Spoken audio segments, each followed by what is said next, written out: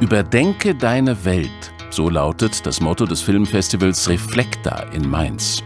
Was macht uns zu dem, was wir sind? Was würdest du gerne ändern, wenn du könntest? Komplexe Fragen und vielfältige Antworten. Das Festival widmet sich unserer Zukunft. Manchmal ist man ähm, positiv motiviert, manchmal ist man auch ein bisschen geschockt. Ja? Also es äh, hat beides und das finde ich gerade eine, eine spannende und tolle Kombination, weil ich glaube, die Menschen müssen wachgerüttelt werden. Reflektor vom 11. bis 13. August in Mainz.